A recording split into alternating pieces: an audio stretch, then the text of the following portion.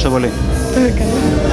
Δίπλα μας έχουμε τον Λάζο και τη Μαριλένα. Ήταν οι παρουσιαστές της απόψινής βραδιάς του δεύτερου γκαλά που έγινε στην Πάρο, δεύτερη συνεχόμενη χρονιά Φιλανθρωπικό γκαλά. για φιλανθρωπικό σκοπό. Τονίσουμε, αυτό ήταν για καλό σκοπό Βεβαίως. η όλη αυτή η βραδιά.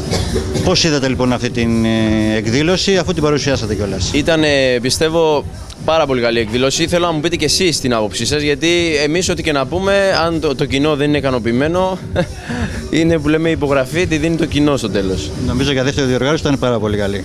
Ωραία, ήταν Ήταν καλή, πιο λέει. οργανωμένη. Ήταν καλή. Εμείς ούτως ή άλλως τα βλέπαμε από πάνω, είχαμε το άγχος. Εσείς να μας πείτε τη γνώμη σας.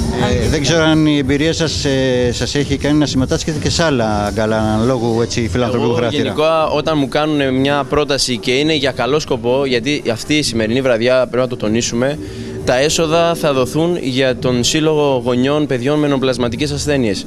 Όπως και να το κάνουμε, αν σου κάνουν τέτοια πρόταση, δεν λες όχι. Είναι για καλό. Ε, είχαμε συμμετάσχει και πέρυσι στο πρώτο φιλανθρωπικό γκαλά που ένα μέρος των εσόδων δινόταν στο χαμόγελο του παιδιού και είχε γίνει στο Πάρος Παλάς. Και να ευχαριστήσουμε και τον Σύλλογο Γυναικών Παρουαρίες, γιατί τελικά η φράση σε σέλα φεμ ισχύει για όλους. Αναζήτηση της γυναίκας είναι πίσω απ' όλα. Πίστεψέ με. Και κάτι τελευταίο, οι σχέσεις με την Πάρο ποια είναι; Λοιπόν, εγώ με την Πάρο έχω πάρα πολύ καλή σχέση. Είχα έρθει και διακοπές το καλοκαίρι. Μπορώ να πω ότι είστε πολύ τυχεροί που μένετε σε αυτό το νησί και εμείς πιστέψτε με στην Αθήνα θα, θέλ, θα θέλαμε να είχαμε αυτή την ευκαιρία γιατί όντως η ρυθμή σας εδώ είναι όντως χαλαρωτική και πολύ καλή σε σχέση με την Αθήνα. Να σου πω και εγώ νησιώτης είμαι. Αλλά μένω στην Αθήνα μόνιμα.